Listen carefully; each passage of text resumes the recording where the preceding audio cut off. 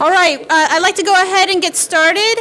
And uh, today's talk uh, will be live broadcast. We have uh, two students that will be taking Twitter and live chat. Uh, we have Camilla, Camilla and C over there in the corner um, uh, taking questions from the virtual audience. I'd like to thank Dr. Settles for being here. It's an honor that you accepted our invitation.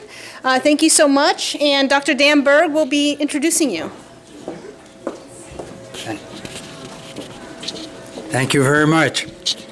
It's uh, my real pleasure to introduce a champion in the field, Dr. Stan Settles, who's now Professor Emeritus at USC. Uh, he served there as Department Chair of the Daniel J. Epstein Industrial and Systems Engineering Department and held the IBM Chair in Engineering Management. Prior to that, he, he had an illustrious uh, career in industry, having worked at Honeywell in the jet engine business at Phoenix. Also, he spent several years at both NSF and the White House Office of Science and Technology Policy. And he's a person who really started at the drawing board. Those of you know what a drawing board is. And left uh, industry as vice president of manufacturing. He's a fellow, past president of the Institute of Industrial Engineers. Uh, he received their highest award, the Frank and Lillian Gilbreth Industrial Engineering Award. Elected to National Academy in 1991, fellow of Informs. Today we're very pleased to hear his talk on systems engineering at 263 miles per hour. Dr. Settles.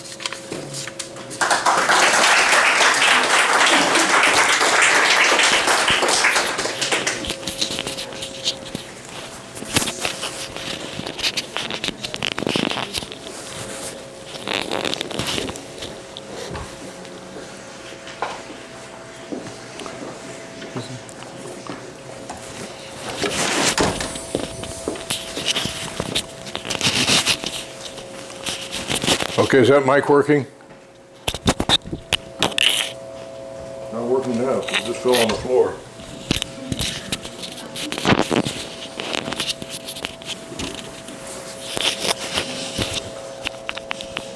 Okay, is that mic working? Okay, is that working? Got it, okay, very good.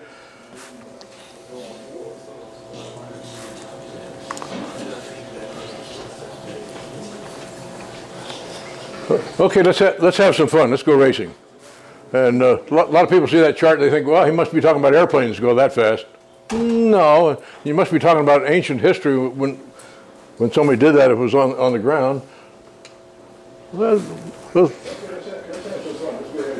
We're getting uh, feedback. People getting feedback from the other room. They're going to turn off the mic in the other room. oh, I see. Okay.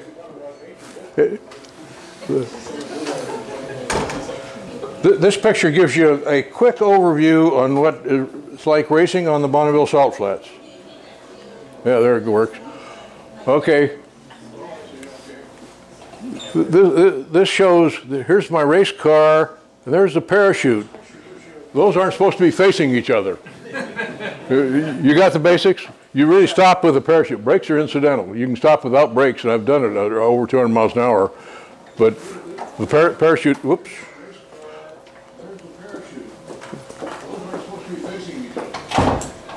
Okay. uh, Okay, some, somebody's playing it back over there. Okay. So, so anyway, this this gives you an idea. Here's some of the, some of the things that are you may not expect. What is that sur surface? Salt. Salt. It, it's salt flats. It's not dirt. Everybody thinks, well, you kick up dust when you go out there and race. You don't. It's salt. And we'll talk a little bit about the nuances of salt and racing on it. It's a great surface for land speed racing because it's cool. Even, even though the air temperatures may be up as high as 100 degrees, the salt is still cool to the touch. So that tires like that, to be, blunt about it. Anyway, this, yeah, this, was, again, not ancient history. I was in there at That was 2010. So it, it, and it, that's that's the nature of it. You can do that. How in the world did I get into this? You, mild mannered professor uh, uh doing that.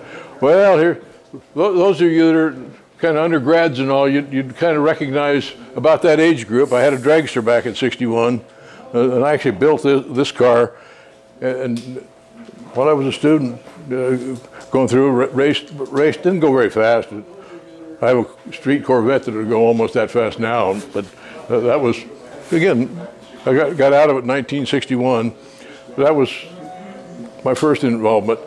Then in 1958, 9, and 60, I went to the Bonneville Salt Flats. This was not my car, but I, one, year in 1960, uh, we put my engine out of my dragster that I just showed you. We put it in this guy's car. This was a, a phenomenal deal. This guy built, actually built that car from scratch in his, his basement in Denver, Denver, Colorado. He had an Oldsmobile engine in it, but I had a bigger engine. So I, I drove it, and I only went 193 miles an hour. First time I'd ever driven the car, and the rules were different those days. And the engine wasn't running right, but it still got, went that fast. So that, that gives you an idea what the salt flats are like. And this is called a streamliner because you can see you can streamline around the wheels. So we'll talk a little bit about what the classes are. And so snapshot, they, they already ran through, through all this stuff. But what I, re reason I put it up there is to just tell you what I, I raced there 58, 9, and 60, was involved in it, had a dragster back in those days. And then there was a minor interruption while I did, did a bunch of this stuff. And 2007 was the next time I ra raced. So 47 years in between when I raced at Bonneville. And people, so people think, oh, well, you knew all these guys in between. No, I didn't. But I knew a bunch of them back in uh, there. Some of you, have any of you seen the movie The World's Fastest Indian? motorcycle. It's an Indian motorcycle guy from New Zealand. He was racing back when I was there. I, I met him, but the guy that was my crew chief knew him real well. So it, it was it was kind of a fun time. But uh, again, my, my proud title is Professor Emeritus. I have business cards here that are kind of fun if you want want to have a picture of the car on them. Okay, so I, I started November 2006. I got around to a couple guys my age. We were happened to be at a gathering in, in Phoenix, Arizona, and my wife and I were there, and got these two guys were roughly my age, and they were talking about going to Bonneville. So this was 2006. At this point, I'd been married to this young lady for 45 years, and she she knew me clear back. I knew her from the time she was about 12 years old. But anyway, when, when I had the dragster and all, we had an agreement. As soon as we had had kids on the way, a, a kid on the way, one at a time, that, that I wouldn't race. I held to that, and I tried. I tried to just. We introduced all of them to, to racing. We raised four sons, and none of them really at that time bought into it. If they would have bought into it, I'd have jumped in with them, obviously. But we, we very carefully did, not direct them. They're, they're all over the map and the things they do. But anyway, here, here, here's a little bit of the idea. And I'm writing this in terms of systems engineering and what, what do you work to? Well, your specs, you know, and I'll talk about how we use it as a, a learning experience. Land speed type race car, uh, really built for the Bonneville Salt Flats, and you just go straight, one car at a time. Not, not, not, none of this loop-de-loop thing, and it's not NASCAR bumper cars or whatever.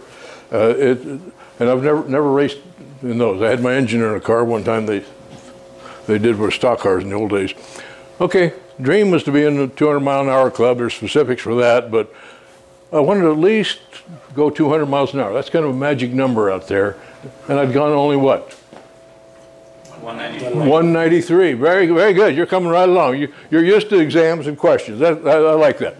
Okay, so I said, well, my goal is go at least 200, but I recognized, again, in systems engineering terms, the requirements might creep up.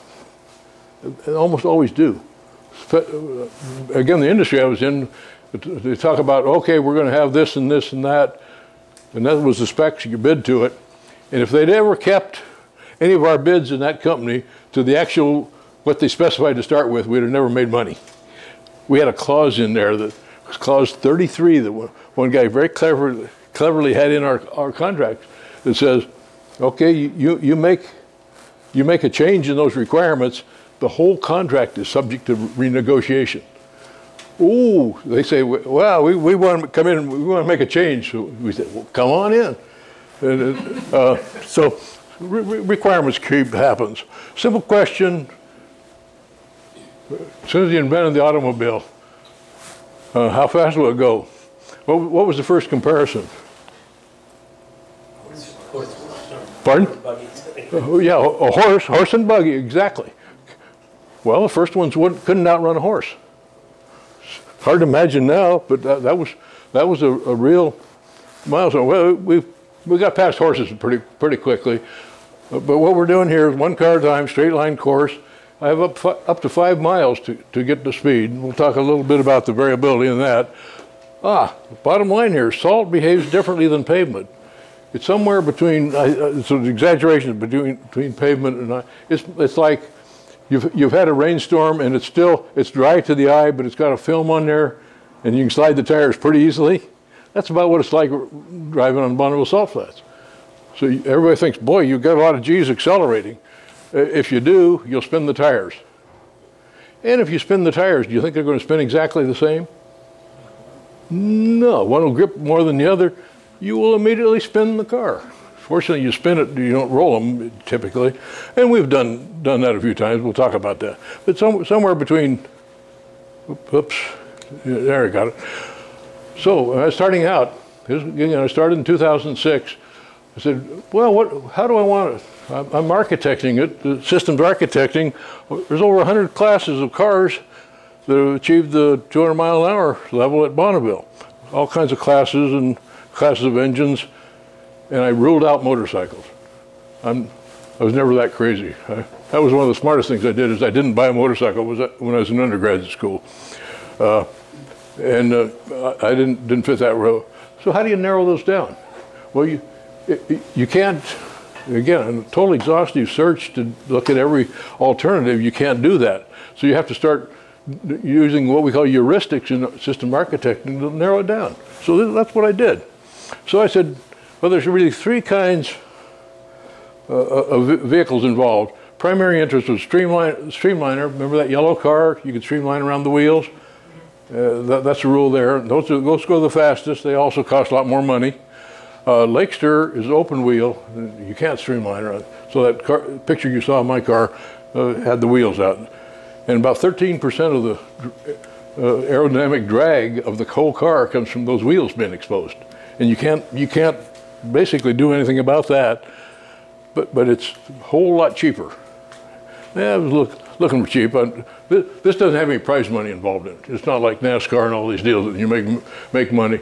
You can get rich with a race car. You know how you do that? You start richer. You start very rich. You got it. yeah. And so this this is all for fun. The top Top Speed gets a big trophy about four feet high and gets $5,000. And the cars that run for that, it costs them about ten to $15,000 per run down the salt. So you don't make much money on that. You don't make up for it in volume. Uh, okay, others of in possible interest, modified roadsters, rear engine modified roadsters. I, uh, nah, could, could go with those. Uh, I won't even go into the definition of that because my interest has always been kind of the primary cars that are built for, for racing. Uh, just my nature. So I said, well, I'm the client in this case. That's what I'm going to do. Not of interest, coupes and roads, other roadsters and such. Wasn't interested in con converting my Corvette to a, be a Bonneville car. Okay, so you start looking at it. There are 12 classes all the way from 30 cubic inches up to unlimited, and uh, it gives you the cubic inches and uh, metric numbers. You got to make a decision on fuels. Hmm. Well, quite quite different. If gasoline, you have to use the gasoline that's provided out there, and it's racing gas. You say what octane? Well, they don't like the word octane because anything over 100 is not not considered really octane. That's a it's a measure between 90 and 100, but it's equivalent to somewhere like 117, 119, something like that. And it's not to put out more power; it's just so you can advance the spark more. And, uh, but the gasoline itself doesn't pr provide more. Then you can go to fuel. Once you say you're in fuel, you can, one, one guy says you can put nail polish in. We don't care what you run. The, the, So uh, the methanol, nice, nice fuel, burns cool, so on, but you're, doesn't put out much more power than gasoline. Then you get into nitromethane, and it puts out big power. It's interesting, interesting material.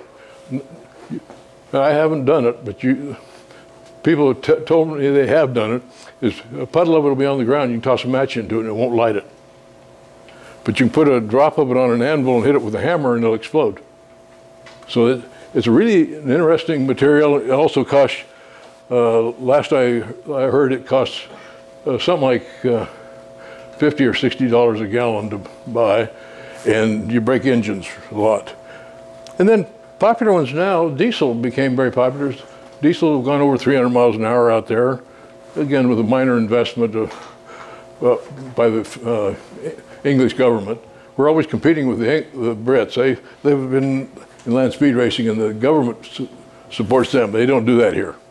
So uh, they, they've had a diesel. Electric power, anybody heard of Ohio State University? They have, they've had a series of cars called the Buckeye Bullets. And students really build these cars, they don't drive. The only thing they don't do is don't drive. There's a professional driver that drives them for obvious reasons. But they've had three different configurations of electric cars that have gone over 300 miles an hour. And they, they run kind of separate from there. The, the one is a hydrogen, hydrogen uh, type, type battery and all, uh, fuel cell, and everybody's afraid of what that do. So they, they wouldn't even let them pit anywhere near us. But they, they typically would sign up separate. But three different versions have gone over 300 miles an hour. And I visited them up there in Columbus. And the, the first one had 43,000 D cell batteries in it. And, and, and the big, big problem there was if you try to set an official record that they were trying for, you, you have to make two passes. Those, those batteries didn't, didn't have enough life t- to do that. They went over 300 miles an hour with that. Then they had a second version that was uh, uh, some form of the hydrogen fuel cell, and then the last ones had, had the big, great big batteries that were about four feet square, all built into the car. But it had two of them rather than one.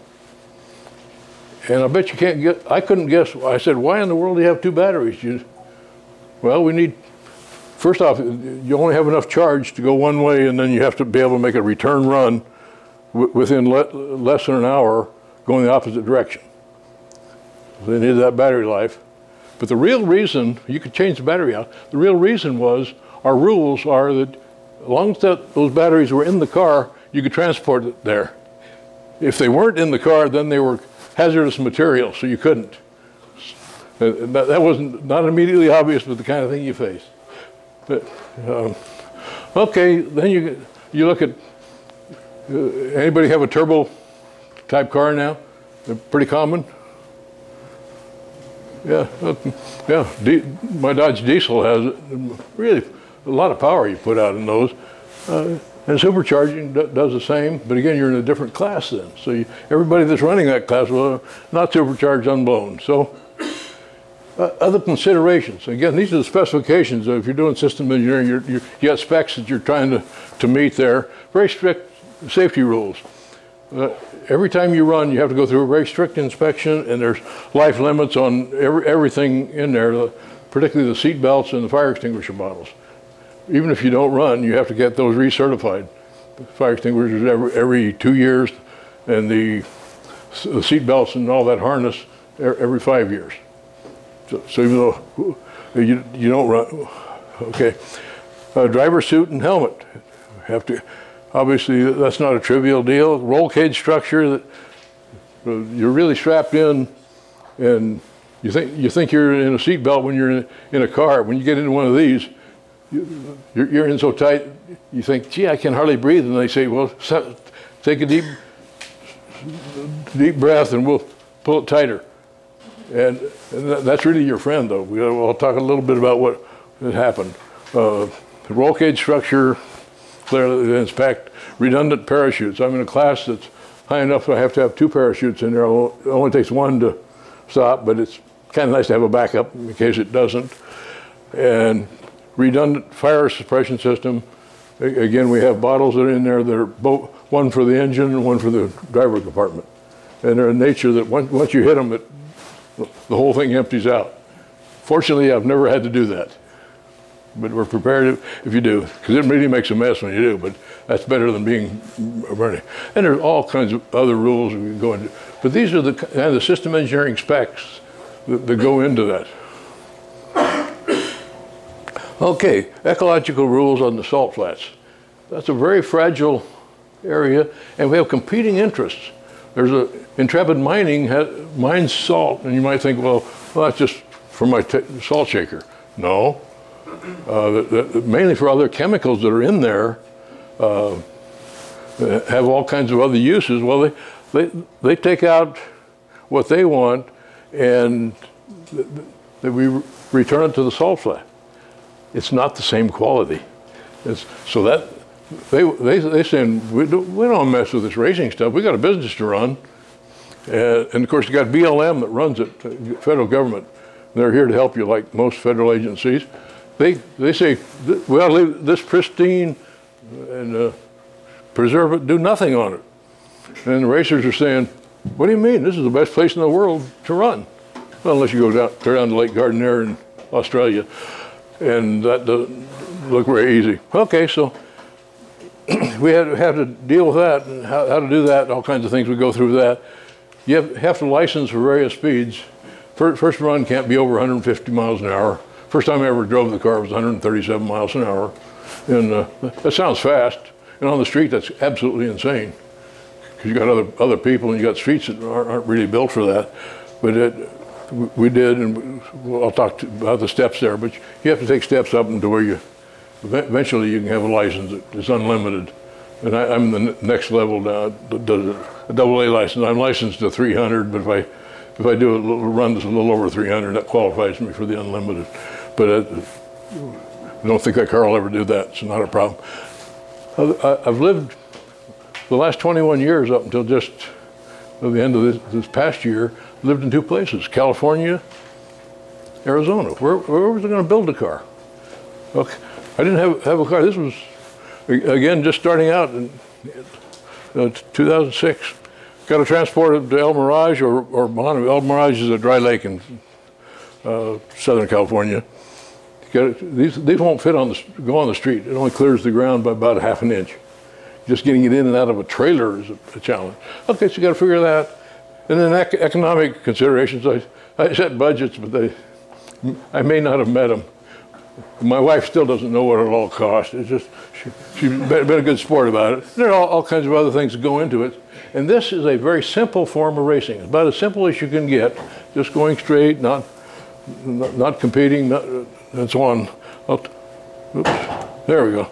Okay, so on an appropriate date in 2007, April Fool's Day, I, I, I located a, an existing lake, Lakester for sale. So I decided, well, I'm going to purchase that. I recognize it's, it, it's not what I want to end up with, but it was a way to get there uh, quickly.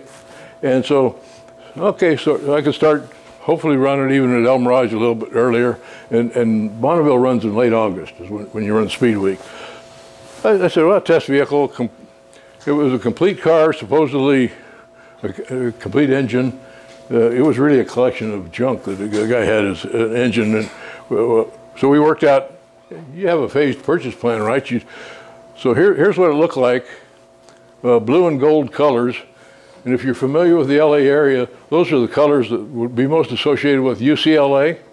And if you think a USC professor uh, would, would be seen with that, you had, had to change that. And this is, this is the gentleman I, I bought it from right here. But it, any, so I, I, bought it, and we, we set about changing it. Um, so it was just to get back to the specs. A-class Lakester had to have the wheels exposed, 468 cubic inch displacement Chevy, unblown, running gas, really a pretty low tech tech engine. So made their down payment April 1st. Uh, we're, the plan was that we'd run it at El Mirage with, with his engine in it. He, he thought he could, could break the record. The car still holds the record for that, that class at El Mirage. 223 miles an hour, and it's a shorter course than Bonneville. So he was going to drive, have his guy drive it, and that was that was a test to buy out the buy off the chassis and everything. Uh, It, it, it didn't, it didn't run right, uh, but it, we did run it that day. I said, okay, well, make it, make that. Then June 10th was the race.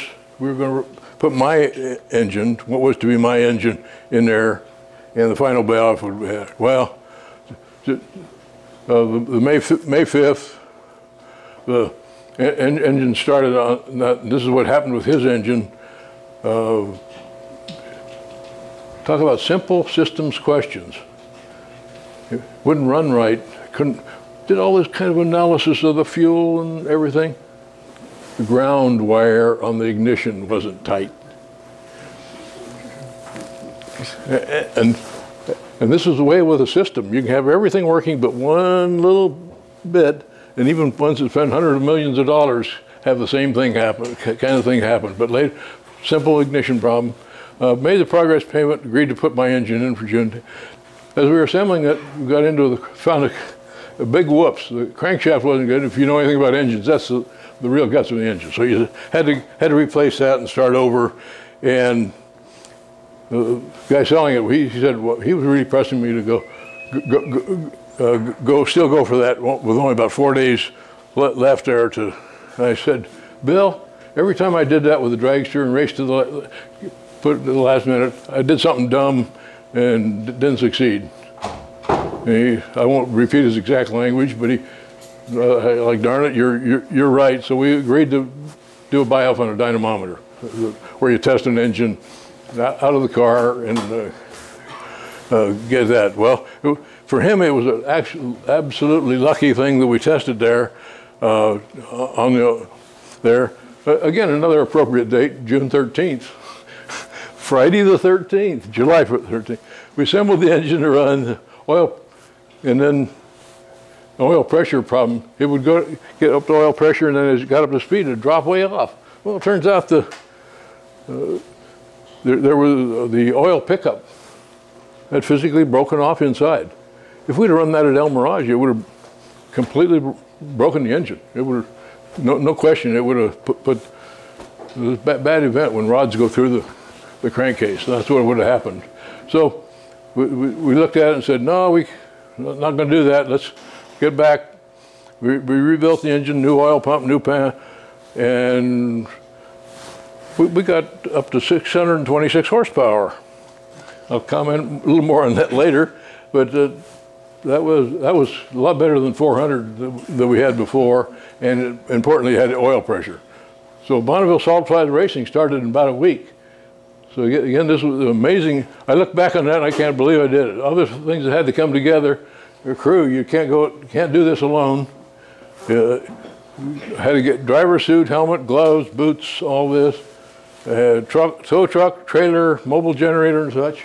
I didn't have any of that in November when I started out. So I had to get all that mass together. The system problem there. And of course you had to train, change, change that. Couldn't have UCLA colors on there. So that, uh, be sort of sort of like having Florida co- colors here, huh? No, it doesn't work. Okay, then, so then, here, here's I say most expensive suit then.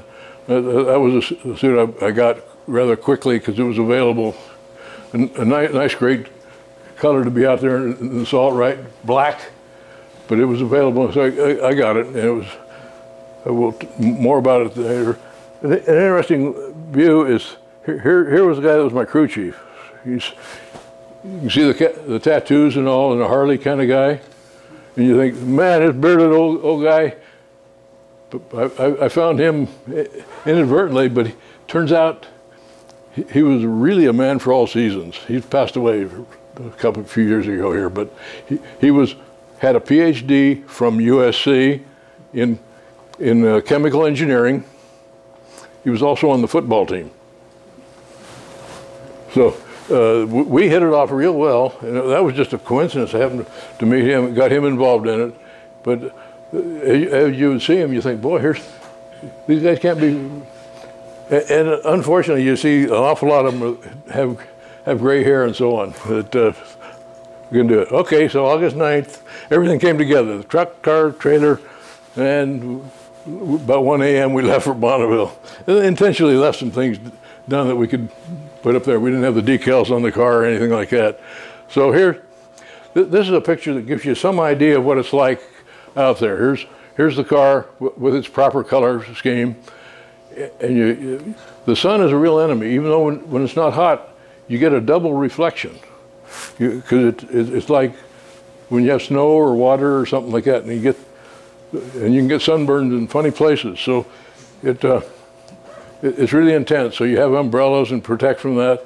Also had to had to buy a truck. This is, a, this is my diesel truck that, and this car can't can't start from the line by itself. It has an automatic transmission without a torque converter. So you can start the engine, but then you have to push it up to about 40 miles an hour, and then, you put it in gear. It, it outruns the tow truck pretty fast then. But that, that was waiting for the first run to get an idea. Here, we set off. So the, the first run had to be a licensing run.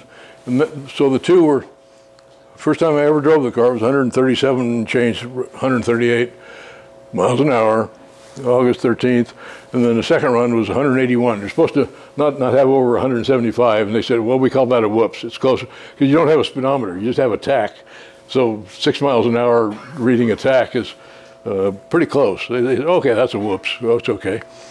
So then the, next day, here's the first first run. I, made over 200. So that was my goal. Remember?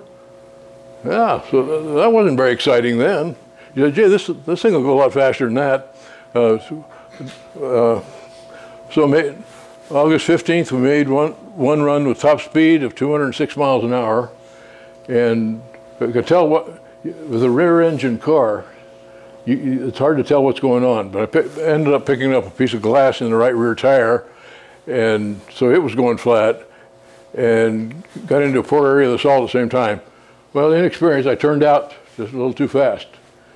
So what happens when you turn out too fast? Whoops, the car spins. So that was only 206 miles an hour. So that wasn't. The funny part of it was it spun just once, and then it ended up pointed right at the the return road. So the guy comes out there to the safety car and he says, "Boy, that was good driving." I said, "Thank you." Come on, it was what flat out luck. But, but if you get a compliment, take it. So anyway, kind of poor, turned out it broke the canopy, so racing was over. Uh, and once you spin a car, then you, you've got a bunch of things to check out too. The, all, all the, particularly the bearings on the front end, or and so on. You, so that that was the end. Okay, lessons learned. Need to improve the driver visibility of the car. It was it laid down pretty flat, and I basically couldn't see out of it. So I got back to Bill, Bill Summers. I bought it from. I said, Bill, can't see out of that car. And he said, Yeah, people have complained about that through the years. And, and of course, I explained. to him, I have a brother eight years younger than me. He's driven top fuel dragsters and this kind of thing. And his statement to it, he says, "Well, the view from a race car is vastly overstated." But he's he's driven the dr- dr- drag race. Uh, but back in the 70s, he was going 250 miles an hour in a quarter mile. Was just that was kind of fast. And uh, so, so, so I, I didn't believe that. I raced at five inches. And everybody says, "Well, you're going to slow it down. Got more wind resistance." I said, "Yeah, I'm, I want to see. I'm an old guy. I'm going to see." Okay. Lessons of the salt are kind of interesting because your human reactions are absolutely wrong. Your natural, if you have a problem on the freeway, what do you do? Or on the road, what? Hit the brakes. Yeah, get off the gas, hit the brakes. It's wrong out there. You pop the chute, and then th- th- then you stop. If you if you hit the brakes first, you can spin the spin the car. So pop the chute and drive drive into the chute. It doesn't have a speedometer to help you. Okay, so we raised the cage, allow for vision. Uh, had to do the sheet metal over, so everything from the belly pans up, the sheet metal, we, we've we have changed just so we could do that. Uh, then we started fitting it into the, the program a little bit there at SC. We had a wind tunnel at that point, so two aerospace and mechanical engineering students did their senior project, redesigning the canopy. We, remember, we broke the canopy, so we had to build a new one. And there were all kinds of alternatives you could do. There were very expensive ones and very inexpensive ones. They checked it out for the Reynolds numbers we were running. It was you couldn't tell the difference. It was in the noise of the data, the difference. So, so what did I do? I went the cheap way, right? Okay, did, and it worked. but anyway, they got, got them, them through, and the, the wind tunnel broke down a couple times, and it's gone now. The guy that did the research there retired, so it's gone. Intended to run again in 2008 at El Mirage, didn't, didn't make it to that. And considering additional trade-offs, like in 2008, uh, here, here, again, a picture of it out in the salt, the, the crew that you, you assemble. And uh, the, the, the one, think that's the one, anyway, the one, one, one guy was from Boeing, and he took, he took several classes from me. So he got interested in going to Bonneville, and he was on the crew with, with me for a couple of years. Then he built his own roadster, and he's been up, been up there racing ever since. So that, that was kind of a success story and a second generation, uh, a fu- fun one for me. Okay, August 19, 2008, attempted one run, and engine started okay. Couldn't, with a rear engine car, you can't tell what's going on. Well, it just quit. No, no explosion or anything, it just quit going. I thought, well, probably had a wire come loose or something like that. Well, it turns out uh, the engine, in fact, had had- broken the timing chain. And when you, it's an interference engine, you break the timing chain, boom, pistons and valves intersect. So we, we could right away tell there was, hey, there's some, some serious problem. Then we got all the analyses. Everybody had a theory of why it failed. What failed first? Well, we, we, we've, we quick analysis there. You could pull a spark, plug and see a, a spark plug hammered down. So you say that this is not a good sign. Well, it turns out that they, they did inter, intersect. It ruined the head, and uh, significant damage there. So we, we then set about a, a trade-off study again, system architect. We said, "Uh, I'm, I'm tired of that old engine. It was kind of a collection of junk he had, to be honest. And so we said, well, let's let's look at it. So the, the, again, the SAE student, same student I talked about, built his own roadster. He did a term project. We had, we had a life cycle cost course in systems engineering over there. He, he took that course and he found out I was uh, in- interested in that. So he's he did a, a project in that and went through kind of the, the cost trade-off analysis, life cycle cost, all these alternatives. And of course, I had to. He interviewed me. We got he, I got bu- budgets and so on, and he he then made a recommendation.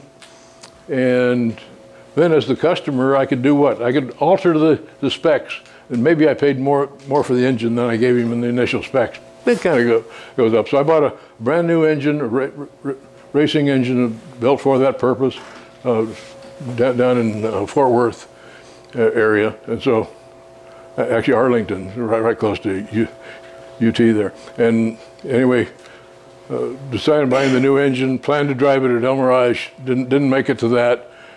Now you can see corporate growth, right? You see we've got more more more crew members and all, in a variety of roles, including the the second tallest one in there. He's only 6'2". He is uh, my youngest son. So the, next tender deal was to talk grandma into him being able to drive it. Uh, me driving, it, uh, you know, that, that's disposable property, but a, a- a son with grandkids and all this, she, she wasn't. So fin- finally, uh, did get her to agree on that, but Uh, not easily.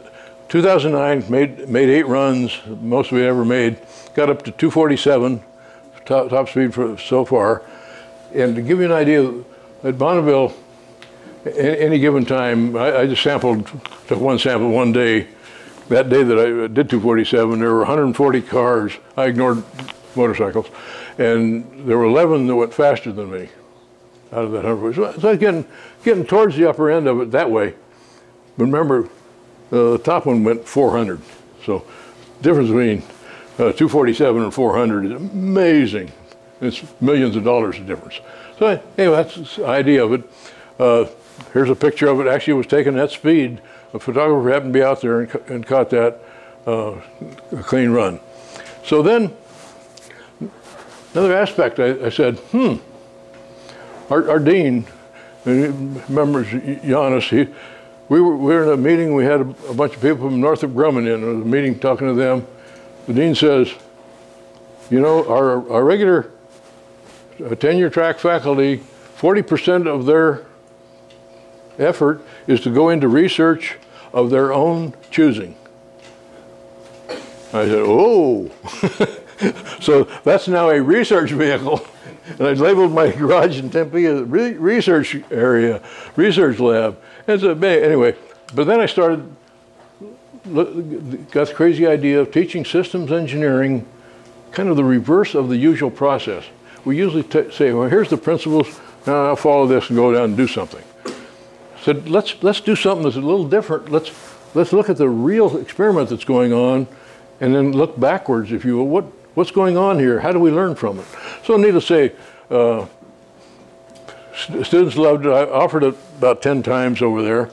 And started out, I had a book called uh, The Physics of NASCAR. I don't know if any of you happen to see that. This part of the country, NASCAR is a little more popular than it is in Southern California. And, and so I had to, Leslie Pelecky was a, actually a physicist at, at that time, UT Dallas. And she'd written this book. I thought, boy, this is, this is what we want.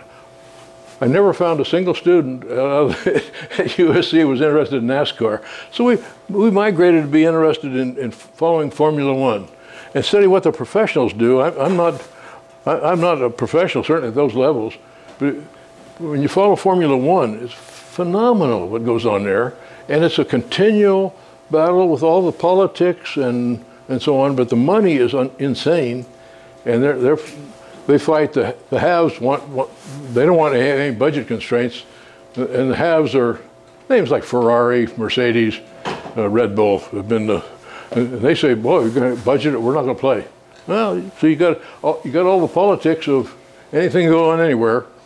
And so we ended up following it and we we respected all, all kinds of uh, forms of motorsports and a requirement of the class was you had to attend one live motorsports event and report on it based on the content of the class. So that doesn't mean just hee hee hee. And of course, Southern California, you got all kinds of events. Drag racing is uh, uh both in the spring and the fall, or the beginning and ending ones for that at, Pomona. So uh, that was pretty good duty. We'd get a bunch of them. They'd be getting credit for a class. I'd be credit for teaching a class, and we'd have our our lab session was to go out to Pomona and watch races. Eh, and if you haven't been around those, these top fuelers and all, they, they go zero to over 300 miles an hour in a thousand feet. Eh, and, and do that in less than four seconds. So you talk about G forces, they're phenomenal. And uh, you have to work backwards. There's no dynamometer that'll test those, but you have to work backwards. And uh, they're estimating now that they've broken through 10,000 horsepower in one car with an engine that's not very big, but running nitromethane and just putting out tremendous power. So anyway, uh, we had fun doing it. We uh, there, there was a learning again from systems. And most of them, with all due respect, came into thinking a race car system was a car and driver. Uh, that's only the start. And particularly when you get into the big money thing, the, the advertising and all this, that's a big deal. NASCAR, why do you see the whole thing covered with stickers? Those people are sponsorship, right? And they want they want their name. That's a billboard. So, uh, uh, really a business. Formula One's the same same same crazy one. Learn from the professionals. I, I, made it clear I'm not one. And then a, a organization called the International Council on Systems Engineering got very involved in that when I was running the system architect and the engineering program, and had a motorsports working group there. A, a, a, group of them wanted to create a generic syllabus for systems engineering using motorsports. Well, I'm not a generic guy. I said, I'll help you some on that, but I'm going to go do my own thing. Uh, that, that generic syllabus never, never even got done. And me meanwhile, I'd offered the course about 10 times. So uh, that, that's kind of my orientation. Let's go do something. It may not be perfect, but it ended up, again, here's uh, 2010, the crew uh, here. We, we, we, went to Bonneville, three, three runs. Uh, that was the highest speed.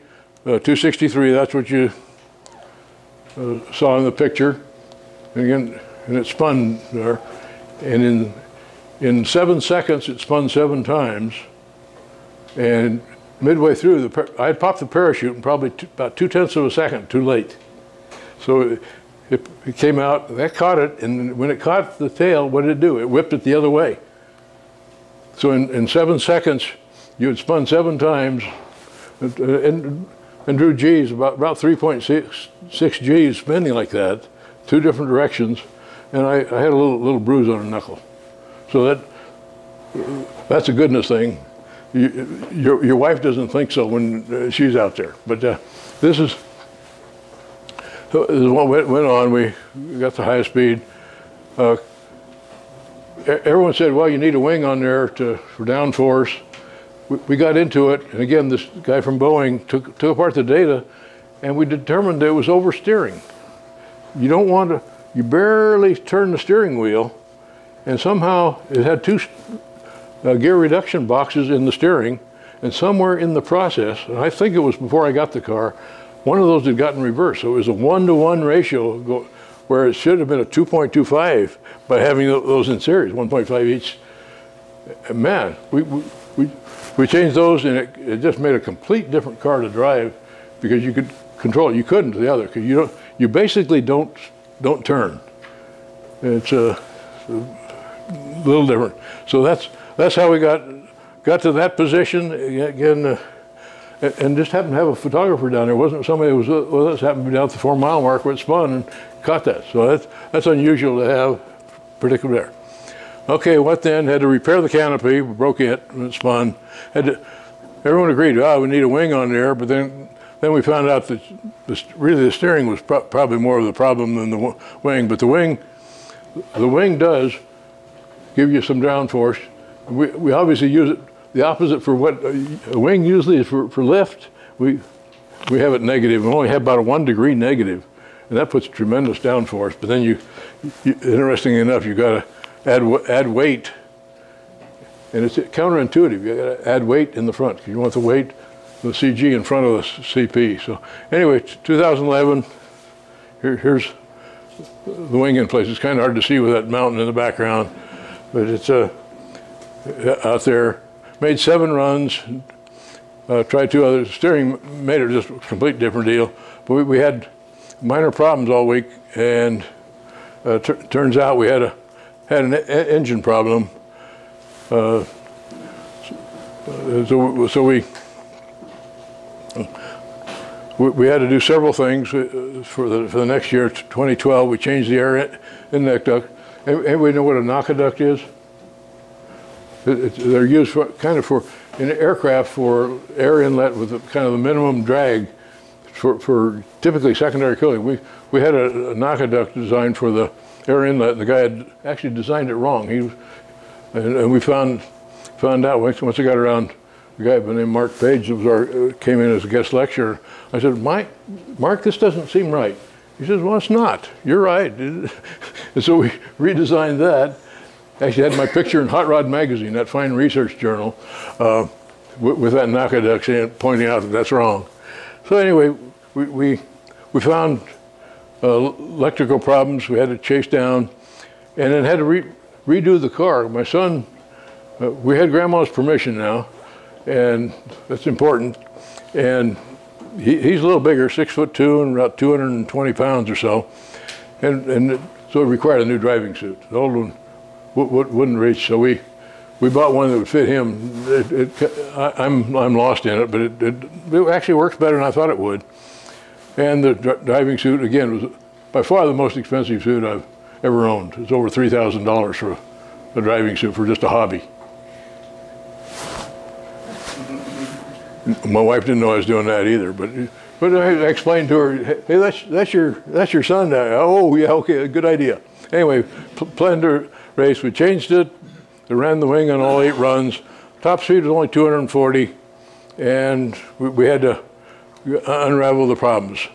Uh, 2013, we made five runs. Uh, I, I was going to drive once he kind of got oriented. He got his licensing runs done. He got to 245, and then he, he, of all things, he ran into a chunk of aluminum. It was a big block like that.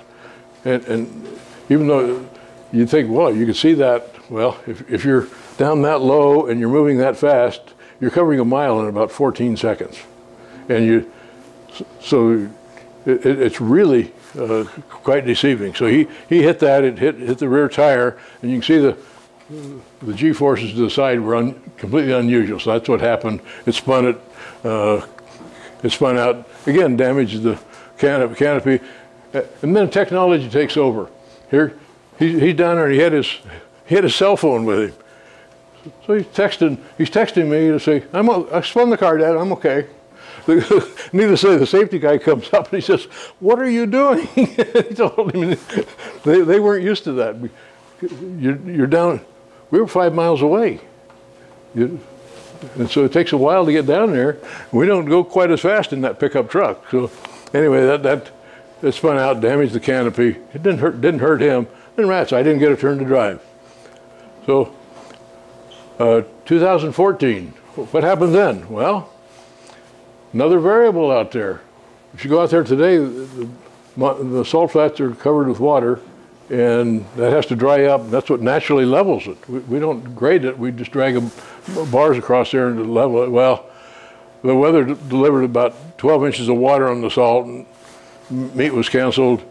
We left the car up at Ely, Nevada. That's about 120 miles away. There's a guy that has a shop up there. I can leave it. So we went back up for another meet in uh, late, late September, and that, that one was canceled also. So what did we do in 2015? Hmm, same thing we did in 2014. Got rained out. Uh, so the good news is we didn't break any parts. The bad news is we didn't go, get to go racing. Uh, We considered running in uh, El Mirage Dry Lake uh, there, there at the end of the year, but it, that didn't work out. Uh, second second day day of the meet was canceled due to wind, and it's a dirty, dusty area. I drove it one time, and, and the dust would get inside that closed cockpit. I couldn't even see the tach. So, so I didn't, I didn't go fast. I just went about 108 miles an hour or something like that, just tooling through, which for that car is not, not fast. So uh, consider running there, but uh, didn't do that. 2016, well, we're, we're hoping to run. The Forecast isn't real positive, but you, you get Mother Nature involved. Uh, had to update the fire extinguisher bottles, replace the seat belts because they're time limited. Not very optimistic. And it turns out we knew the rainfall was a problem, but what's more concerning is that it turns out it's, it's an underground aquifer that would, would feed the salt from underneath that would form this crust. And that's drying up, apparently. Now, you got a bunch of amateur people predicting the weather, and one guy, uh, they, they got all kinds of theories about the axis of the Earth and how it's moving and what the weather's going to do, and so on. So we, we don't know. We're, we're hoping to run, obviously. We're, we'll be ready. The car, car's ready uh, over, in Arizona. Questions? Well, I compressed about a three-hour talk and got it done in an hour. Let me. Uh, I've got a couple other pictures that give you an idea what. And I have a question. You give the speeds to four, six significant figures. How is the speed actually measured? Okay, they they, they have Markers? yeah they they have, they they have uh, electric electric eyes that that sense it there, and, and it, it's supposedly they give you the speed down to uh, three decimal points. Anybody believe that that's true? A bunch of a bunch of amateurs, but it it comes out. But I, I can I can tell pretty well from the tach, and it, it correlates pretty well. And I have I have data acquisition in the car, so when I spun it and said it was the official speed for that whole mile was 263, my instantaneous speed was 266. And so I have data acquisition in there. And you think, well, you don't need that, but it's it it, it really does help. See? So, so you're really measuring to one percent? Is that what you're? Well, well, I, yeah, you, you get into calculating what that third decimal point says, uh, and you're talking very small difference. I, and it's, it's all done by amateurs, but they, they're very consistent at least, and Uh, It seems, seems, to- it seems to work. Let We me, have time for a few more questions. Okay, sure, yeah, I I like questions. That's usually where we learn. man in blue? And I'm- I reserve the right to say I don't know. So like, uh, you mentioned you're running, uh, like couple runs, so the aerodynamic affects more or the engine output affects more? The final result, like, which one is more important? The aerodynamics or Yeah, or the engine output, engine output? yeah. Well, well, they're clearly, they clearly work together with each other. And one thing that's kind of counterintuitive, and the, the, the question, I, I need to repeat it for the distance people. The, the question was, uh, which is more important, the aerodynamics or o- other features in the car for speed? Turns out, for that kind of racing, weight isn't a, isn't a big disadvantage. So you can add weight for downforce, and, and you also can add aerodynamics. So it's a, it's a trade-off between the two. okay. And, and you want the weight distributed differently than intuitive. You think, well, boy, I want weight in the back. That's going to be the- where the traction is. That'll, that's what will make it squirrely because it's, it's behind the center. You got the center of gravity behind the center of pressure. And if, if you do that, it's, uh, it's, it's working against you. So, yeah, we had a, had a number of things we had to figure out that weren't, weren't intuitive. It had- of all things, it had independent suspension on it when I first got it. And you don't need independent suspension unless you're going to turn. And it was actually working against us because it was, it was doing some of this. So we got rid of that. So we complete. Que- Another question. Do you think the, the addition of the wing uh, hurt the performance in the end because you didn't go Yes. as fast? Well, yeah, there, were- The there, drag there- there were other reasons that, but, but clearly it won't, there's some drag that you're introducing. Great question. Uh, again, the question was, do you, I think the wing hurt the performance? Yes, it did. There were other things going on beside that. So if any of us had a design of experiments class and you say, "But how, how many things can you run? Well, we, I've been racing, we've made uh, a total of only about 25 real runs. And a real run is at least 200 miles an hour. Uh, that's not much data when you've got all these variables you can tick off, all, all things you can do in the engine. And, and we had, had the, the one engine and the racing engine. So, somebody didn't set the valves right didn't didn't tighten them, so it it, it caused a problem. Last question. Another another question? Okay, last question. Would it be advantageous to test a car in a wind tunnel before you even take it out racing? Uh, would it be yes? The question was, would it be advantageous to get the car in a wind tunnel and and test it? Uh, the answer is yes. And uh, if you get a wind tunnel big enough to put the car in, uh, you, you you think that costs much money? And and and wind tunnels are a dying species right now because the, the, all, all the computer simulations of it are getting better and better and better. They're still not as good, uh, but the CFD kinds of things are, are just driving them out of business. But uh, Formula One, who has very high budgets, they and they have to carefully limit how much wind tunnel time they can get.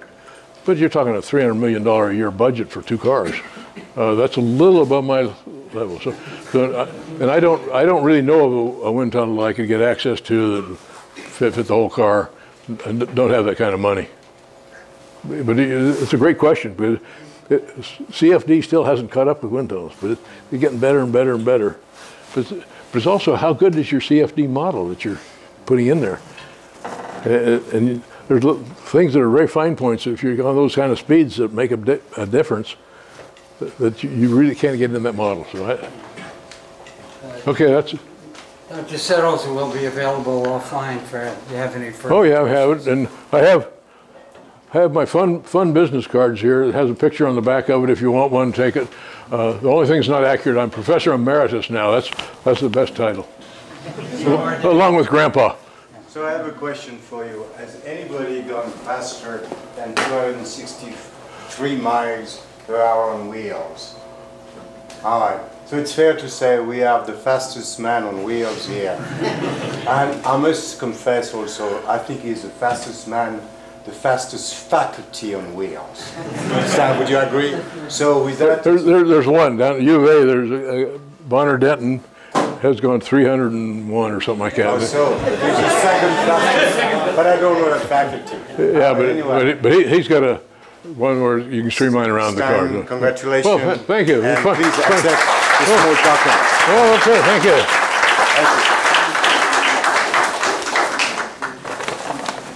Oh, yeah, wait. So, here we go, and I think it's almost going to match the color of your car. Well, I'm sorry, we're gonna have, uh, you're gonna have the orange from, uh, Okay. the U. that works. Thank you, Stan. Thank you much.